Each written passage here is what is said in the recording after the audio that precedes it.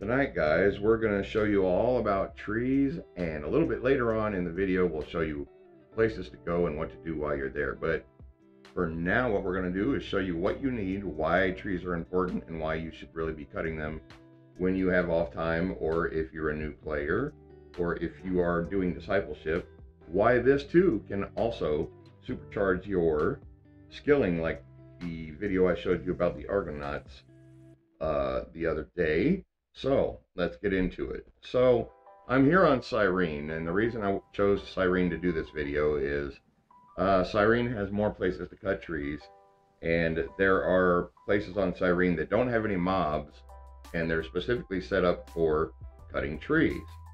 Now, if you've never done this before, what you want to do is you want to come over here to the TT machine. That's not the TT machine. The trade terminal. And the tree cutter you want can be found under tools. Now, if you've never done this before, what you're going to do is you're going to get this one right here, the Zirconian Tree Feller uh, Newing. I can't pronounce that. Now, I've already bought one, but this is showing you where you get it. Now, you want one, or you can buy more. It doesn't really matter. Now, when you first start off, let me show you the, the information on this. If you've never cut trees before, you have to start with this one. And you want to follow what it says here by cutting small trees until your resource gatherer, mine happens to be 10.4, but if you've never done this before, yours might be a little different. It might not be. It just depends. I, you know, that varies for everyone. But if you're doing this for the first time as a new player, this will most likely be at zero. So you want to start with the first one here. Now there is another one. Actually, there's two more. There's a level. There's uh, generally, well, for the named ones, there's only like this one. And another one that's part of a mission that I'll show you guys and tell you about later. But for the most part, the TT one on this planet is Zirconian Treefeller Nuying I guess that's how you pronounce that. And that's the one you want. You can buy one, two, three, four, as many as you can afford, but there's a trick to this and sort of a way you want to do this so that when you burn up one, what you've collected in the run with the first one will pay for the next one or close to it. So here's what we're going to do. After you get your tree feller, now we're going to go to one of the three locations that I know about, and there's probably a few more.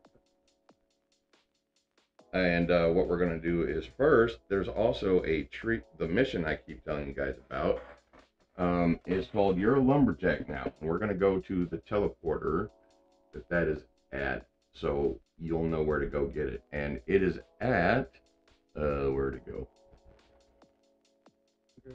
This is at the Tanhawk immigration teleporter. Now, what you want to do, the reason you want to pick up this mission is if you turn in, if you have, after you harvest a 10,000 moonleaf boards from trees, you can turn these in for a random decoration, a tool blue, or a random tool blueprint, or you can do a simple art desk blueprint, or the second tree feller, which I don't know that much about it because I haven't used one yet, but it is a Zirconian tree feller SAM, but it's spelled S-A-A-M and it's a limited, and you get a blueprint for that. Um, so we're gonna go pick up that mission right quick before we get to cutting trees, and I explain how all that stuff goes. So we're gonna go to the teleporter here, Actually, I'm already here. But this is a teleporter that you should already have when you first arrive here. Um, it's part of the teleporters that should be already in your teleporter list. So we go over here to this blue guy here.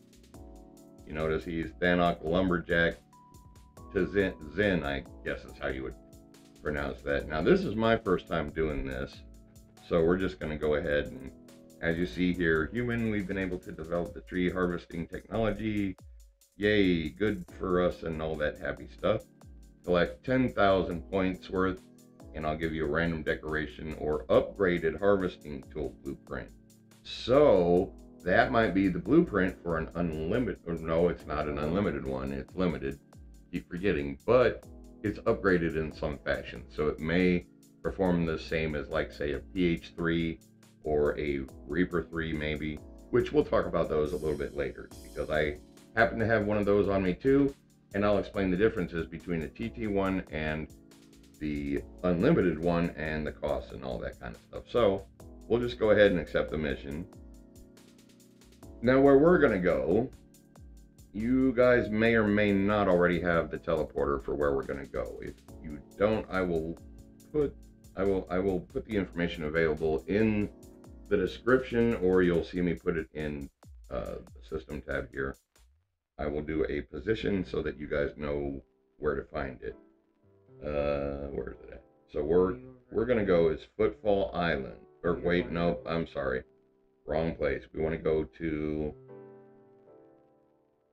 Not the lookout. We want to go to the Nugu Volcano Land Area Teleporter.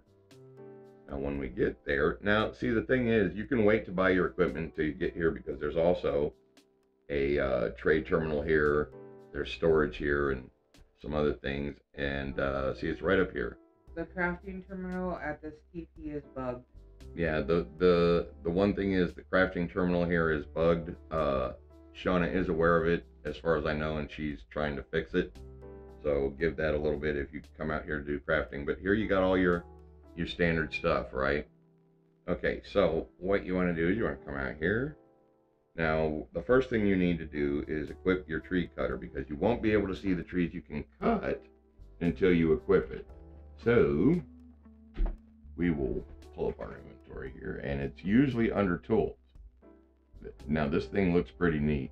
I'm not going to lie. All right, so there we go. Look at that thing. Does that look neat or what? That looks kind of vicious. That looks like a weapon you could use on somebody and do some serious damage. But it's just for trees. That's a shame though, because you know that would be really good. Okay, so what you want to do now? You'll notice since I have this equipped, this small tree here pops out at me right away. Although it's kind of hard to see the outline on Cyrene with these blue trees because that happens to be the same color the outline is. What you can do is look up a little bit and you'll see the, the label here as a small tree. So what you do is once you see that, you right click on it and you'll run over to it and start cutting it. Now, one thing you'll notice, uh, I'm too far away from the dang tree. Uh, sometimes that can happen too, guys. All right, now watch the skill gains that I'm getting for doing this. Just like in the Argonaut video, you will start to see the skill gains start to go crazy. And all of these have to do with resource gathering.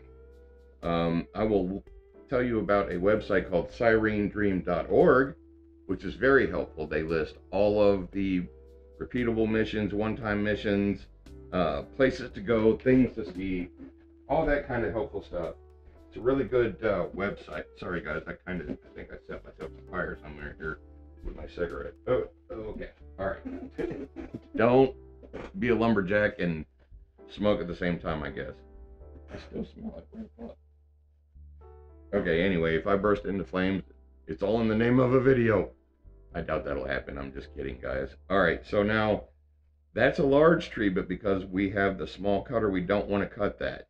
And the reason is because if you try to cut the large and huge trees, excuse me, with the small cutter, all you're going to get is small moonleaf board, and you're not going to get any of the bigger um, harvestable uh, things like longboard and medium uh, uh, regular and and there's there's some things that you won't get if you try to cut the wrong trees with the wrong cutter. So do keep that in mind. Now to move up to the unlimited or it doesn't necessarily have to be the unlimited one, but the level three, which would be um, on Cyrene, it would still be this one, I do believe. Or no, I think it's the upgraded one that you need to cut bigger trees, unless you have like a PH3 or a Reaper that's from a different planet. The TT tree cutters here, I think there is only that one version here. and and then you do the mission for the upgraded one that I think allows you to cut the bigger trees if you're using specifically Planet Cyrene's tree cutters. Now you can use other planets tree cutters um, on other planets trees. So like, well, I'll show you here in a few minutes when I use my Reaper 3 what the difference is, which I forgot to put a little bit of PED on it so I can show you that. But however, we'll go find us another small tree with this one. See, there's another one. One of those. I think it's this one. And you'll notice there's no mobs around here to bother you or interrupt you or, or mess with you or even kill you. And we just happen to find a bunch of small trees. Now when we're done cutting this one, I'll go back up and I'll put some PED on my Reaper 3 and I'll show you what the difference is between oh between uh, the loot that you get and um, those types of things with the different uh, things. And I will show you a page. Yeah, see, we're getting all kinds of different skills. Now, one thing to remember is the skills that you will also get by doing this will also help you accelerate through your discipleship because the skill gains that you get cutting trees, um, it hits all 12 resource gathering sub skills like mutant looter, robot looter, animal looter, um, you know, all your resource gathering skills. Plus, it adds to the master resource gathering skill, which is resource gathering. So, this is a really good way to not only accelerate in your skilling like you would with um, the Argonauts, but this will also augment that as well. So, you're getting even more skills. And the thing about this is, this is one of those things that you know, you wouldn't think that cutting trees would be such a powerful thing to do in a video game, especially a science fiction game about what Entropia is about. But that's one of the things about Entropia that you have to keep in mind is to think outside of the box sometimes. Because let me tell you something, guys. If you're in Entropia this far, you all you've already found out there are things in this game that make absolutely no sense whatsoever, and trying to figure them out on your own uh, yeah, good luck. There's things that people that have been playing 20 years or more still have no clue about. So keep that in mind. But all right, so now we're going to go up here and I'm going to show you the difference between the TT cutter. Oh, one thing to remember when you have your inventory, when you're cutting trees, is wood, just like it is in real life, is heavy. As you can see here, when I by the time I'm done with this run, well, actually, what I should do is finish this run out with this blade for, but that's going to take forever to show you guys that. So I'll just go ahead and swap them out and, and cover what I was meaning to.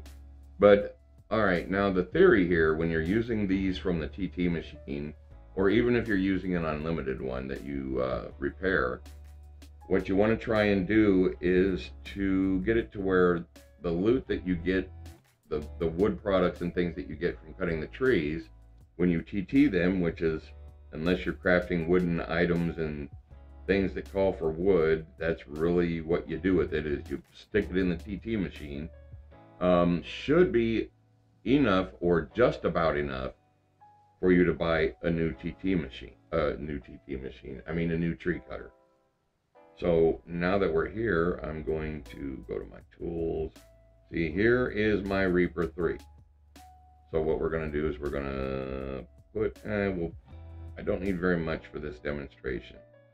So no, we're not going to do that. But eh, we'll put about five PED on it.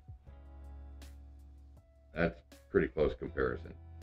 So what we're going to do this time is we're going to use my Reaper 3 so that you guys can see the difference in what you get um, if you use these tools properly as opposed to just cutting down everything you see because there is a method to this. And the Reaper 3, for some reason, I think it's because of the way it looks. Oops. Let me see if I can see. Is one of the more sought after tree cutting tools. But anyway, so we'll go back out here and you'll notice this time I can see all of the trees when we get back out here. And if I cut them, we'll see there's a small one. We We know what kind of loot we get from small trees. It's this stuff. Short moonleaf and wood shavings. Now when we cut this long one, because we're using a Reaper 3, which, let me show you the, the specs on this one. Forgot to do that. One thing that you'll notice about this tree cutter is it requires Resource Gatherer 6 to use, which if you cut trees for maybe a day or two, maybe three, depending on how much time you do it for, it won't take long to hit that. Um, the max wood tier is huge trees, which means you can cut anything from small on up to huge. You'll notice the success rate on this is 100%, and the range is one that doesn't really change.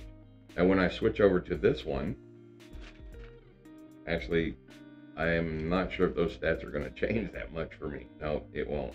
But when you first start out, this success rate will be around 95% or so. Anywhere from 90 to 95% depending on which cutter you start with. And why, oops, I'm sorry, I showed you the info on the wrong thing. Try that again, shall we? Yeah, it didn't change for me, but for you guys, it will start off anywhere from 90 to 95%. Now, once you hit Resource Gatherer 6, that'll go to 100%, and you'll be able to cut every tree But that there is out here. It. But you will still be an SIB with it until you hit 10. So, keeping that in mind, let's see, I just thought of something else. What, what was it? There was something else we needed to. Oh, right, I wanted to show you the difference in the loot. Um, okay, so you'll notice because that was a large tree and we used the Reaper 3. Now, the Reaper 3 just happens to be the unlimited version. There's also a uh, the Paratech PH3, which is the limited version of a tree harvester that is on Calypso and I think Arcadia. Um, there's a few other places that that one is at that I can't think of. Now, I've just shown you this place over here. Now, over there where all those trees are, that's another place where you can cut trees until your heart's content. And we'll go ahead and run over there so I can show you the difference in the contrast. You can see these trees a little bit easier than you can the blue ones over here. Watch the fog in the water. Oh shit, I forgot there's big fish over here. So ideally what you're gonna do is fly over here, but you know, if you jump in the water, just go for it and you might get lucky. Nine times out of ten you will.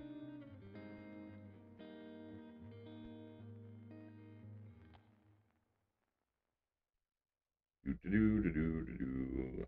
I, I probably should have flown over here, but that's okay. Ah, What else was it that I was gonna say? Oh, uh, what else was it? What did it say on the volcano? That was big. Yeah. Um, that's not what I'm thinking of. Though. There was something else. I don't remember what it was. eh. Well, if I think of it, I'll mention it. Anyway, we're gonna go over here and look at these trees, and uh, because there's more trees over here, I'll be able to show you guys a little bit better what I mean between the difference in the trees and and their loot, and how heavy that stuff is. You can easily overload yourself cutting trees, so keep that in mind.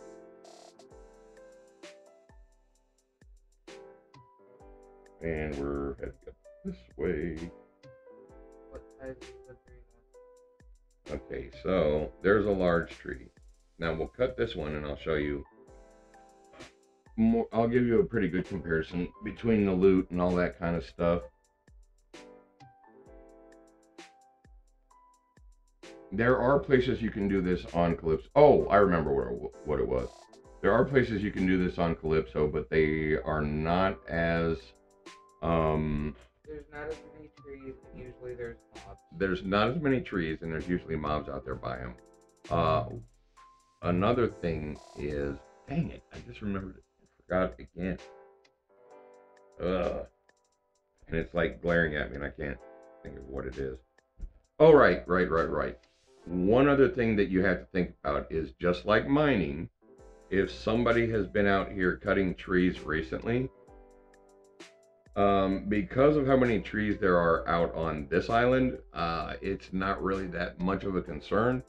But in places like Calypso, where there's not as many trees to cut down, if somebody has been there just like mining before you a little bit, uh, you may have to wait a little bit for cuttable trees to respawn.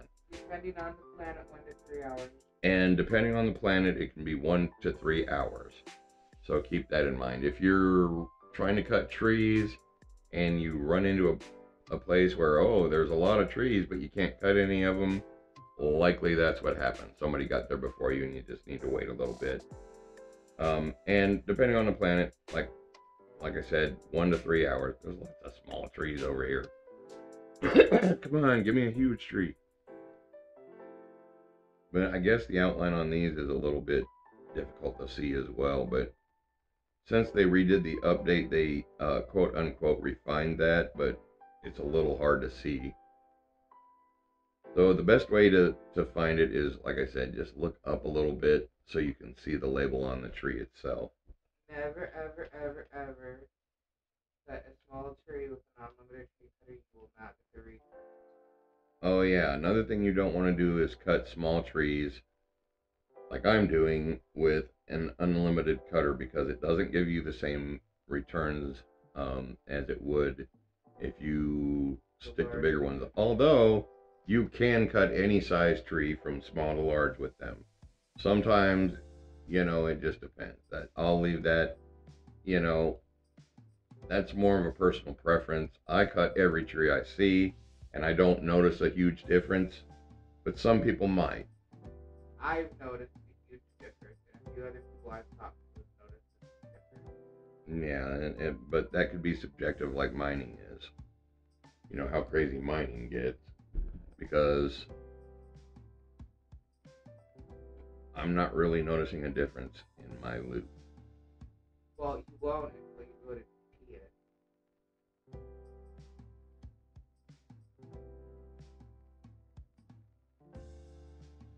So, all right, now I want to see. We've cut a couple of trees, right? And you notice over here our wood harvesting uh, mission is going. So let's look at our inventory and see how heavy we are. Now, you see, we've only cut a couple of trees, and we're already up to 187 kilograms. And that's without really cutting any huge trees or getting any of the large moonleaf. Well, actually, I think we got one. Uh, okay, that's regular moonleaf. Um, dang, it's all small trees. Wait, there's a large one. So you'll get wood shavings. Uh, you'll get mo- regular moonleaf board from large trees. Um, and huge trees is where you get the uh, long moonleaf board and under. Huge trees can give you anything from uh, long boards on down to regular short boards. That one's kind of random. When did they start doing that? They've been doing that forever. Only if you cut it with a Yeah. cutter will